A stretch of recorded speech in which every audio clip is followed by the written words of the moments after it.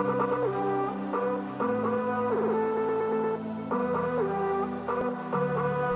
everyone, it's Pastor Chelsea, and you're watching the Thursday Show, and we are here for the season finale of season two of the Thursday Show. Can you believe it?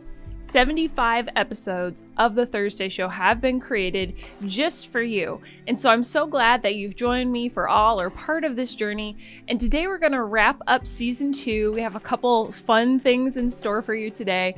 But before I get into them, if you could like, comment, or subscribe to this video. What's so great is even though this is a season finale, there's still lots of great content we're going to put out as Colonial Woods. So make sure you're subscribed so that you can stay informed when that content comes out. And then liking and commenting on this video is going to help enter you into win a special prize that I'm giving away. More details coming on that, so you got to stick around to the end of the episode. So here we are, the season finale, episode 75.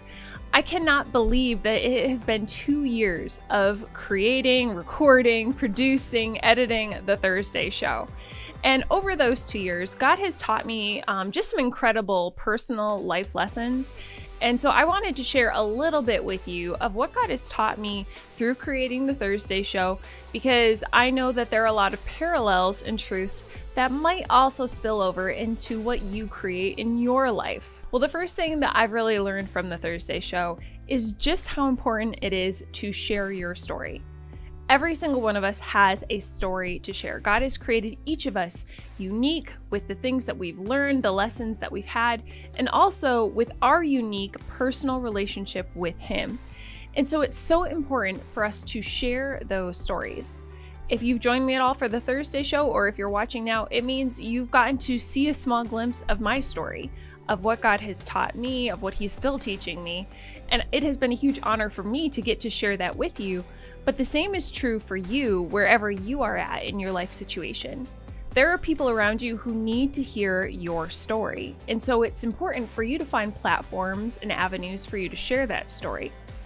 Back in season one, we did a whole episode on this, on sharing your story, episode 35. So if you want to check back on that and reference it, there you go. Episode 35 talks all about sharing your story in more depth.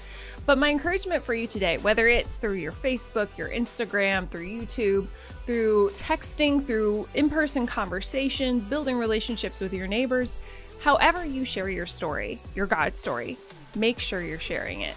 The second thing that creating in the Thursday show has really taught me is that it doesn't have to be perfect. This has been huge for me because you may or may not know this, but I'm a little bit of a perfectionist. Okay, maybe a lot a bit of a perfectionist.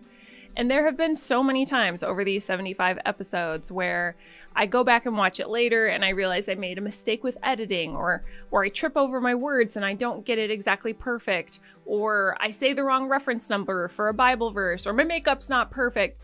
So many things have not been perfect with the Thursday show. But I think God has really been using this to show me that He can still work even through our human error, our human mistakes, our human imperfections. In fact, sometimes I think He can work all the greater through those moments where we're not perfect and where we don't have it all together. There's been a verse that's one of my favorite passages for a long time, but I think it's one of those ones that I'm just going to have to keep being reminded of its truth and of its lessons throughout my whole life long being a perfectionist. And that comes from 2 Corinthians chapter 12 verses 9 and 10. It's the Lord, he's speaking to Paul. He's talking to Paul specifically at that time about the thorn in his flesh, and we don't exactly know what that was, but we know it was something that was difficult that Paul was going through and that he was carrying. And the Lord says to Paul, My grace is sufficient for you, for my power is made perfect in weakness. Therefore, I, Paul, will boast all the more gladly about my weaknesses, so that Christ's power may rest on me. That is why, for Christ's sake, I delight in weaknesses, in insults, in hardships, in persecutions, in difficulties, for when I am weak, then I am strong. Sometimes God chooses to work through our strengths because He's given us a lot of great talents and things that we're good at. But there are some times where God works through our weaknesses. And maybe, I don't know, it might be those times where He is all the more glorified because clearly we are not capable or strong enough on our own. And so those moments that weren't always perfect have been good reminders, yes, to humble me, but also to point to God's glory. Because there were times where there have been episodes where I felt like it was a total flop, and then I would get an email from somebody about how God had used that to minister in their life. Not me. God gets all the glory in those cases. And so, maybe for you, if you feel at times like a perfectionist, you can relate to me in that way. Maybe God is using moments in life where things don't go exactly your way, or moments in life where you feel weak, to point to His glory, to humble you a little bit, yes, but then to put Him on display all the greater. Because when we're weak, then when something awesome happens, He's the one who gets full credit. The third lesson that the Thursday show has taught me is to be consistent. Now, in my life, I feel like consistency has been something that I've struggled to be consistent with. I don't know why. I'm really good at like giving my all at something, but then I'll kind of fall off after a little while or I'll get distracted and want to move on to something different. And so, for whatever reason, I have had the limiting belief that I'm just not a consistent person. But the Thursday show has been so good for me because it kind of forced me into this habit of consistency. I had to be consistent week after week because I made that commitment with the Thursday show. And it's amazing how quickly we can grow and um, learn a new skill when we force ourselves to do something that consistently over and over. So I guess if you're trying to learn something new or, you know, pick up a new trait or, you know, learn how to play an instrument, being consistent is the best thing that you can do to quickly expedite that growth process. But beyond just growing and getting better at something, being consistent with the Thursday show has taught me so much about who we should be as God's people.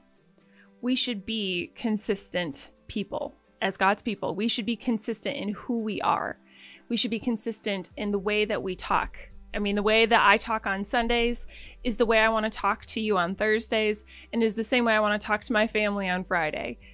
We should be consistent in every single aspect of our life with who we are, with what we say, with with how we show up, letting our yes be yes and our no be no, as it also says in Corinthians. Can you tell I like Corinthians?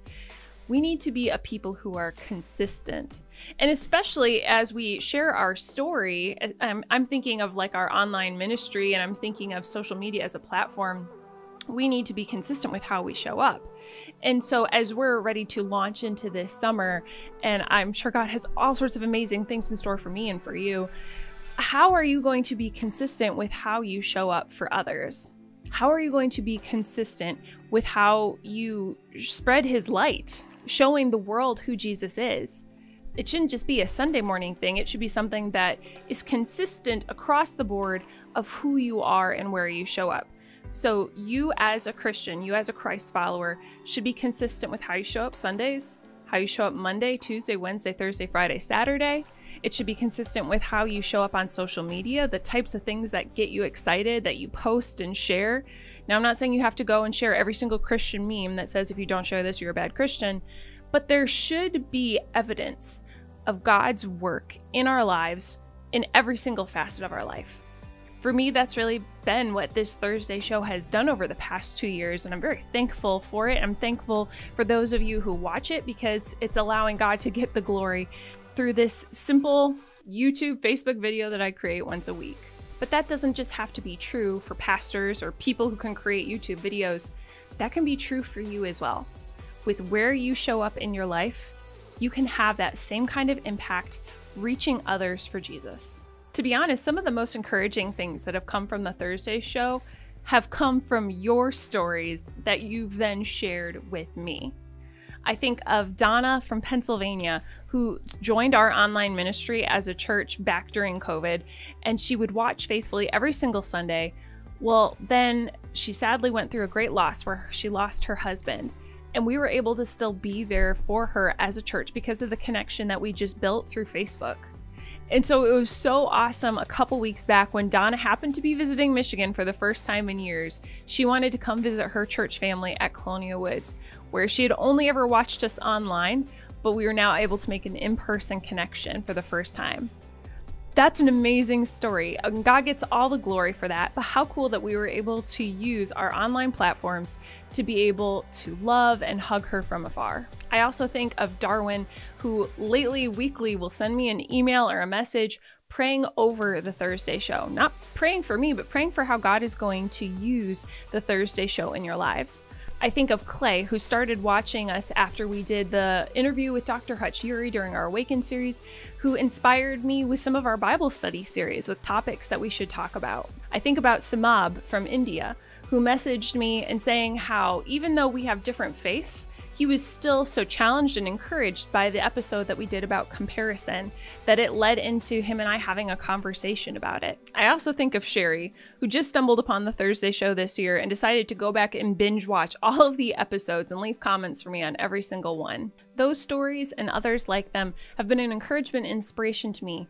So, thank you for those of you who've been watching and I wonder now if the Thursday show has all been helpful for you or has inspired you in some way. Would you leave me a comment and tell me maybe what God's taught you through these episodes or just been teaching you in general lately? I would so love to hear some of your stories as I've shared a little bit of my story with you. And that leads me to the prize that I would like to give away for this season finale of the Thursday show, season two. I want to give away a free dinner on me for you and a friend or you and your spouse. And so for everyone who comments on this video, a little bit of incentive, a little bit of bribery, I get it. But if you comment on this video, even if you just say hi, that will enter you into a giveaway to potentially win a dinner with me, maybe with Adam. We'll see if I can get him to come along too. But I would love to get to sit down over a meal with you and hear your story, hear what God's been doing in your life, and hey, if nothing else, it's a free dinner. So comment and that will enter you into that giveaway. I will reach out and connect with the winner and then we'll set up a date. It'll be a fun time. As for the future of the Thursday show, I'm not quite sure where God's going to lead me in the future days ahead, but I know I'm excited about it. I have so many different ideas of what we can do with our online ministry, so many different ideas of things we can do as a church at Colonial Woods. And it's been such an amazing season of growth and just newness that I honestly have no idea what this fall is even going to look like, but I'm excited for it because I know that God is leading me. He is leading our staff. He's leading our church. So if over the summer you could think and pray for me, that would be amazing. I would so appreciate that. Um, come September 22nd, We'll be back with another Thursday show episode to announce what will be new for season three. So make sure you, well, I don't know if you have to mark your calendar. It's not like this is like a life or death thing, but just so you know, September 22nd, that's when I'll be back. So I hope to see you then. Well, friends, that brings me to the end of this, our season finale. I thank you so much for watching. I thank you so much for just being a part of our online church community. I pray that you have an incredible summer. I pray that God does mighty new things through you as you share your story with those around you. Be blessed over this summer, and I'll see you in the fall.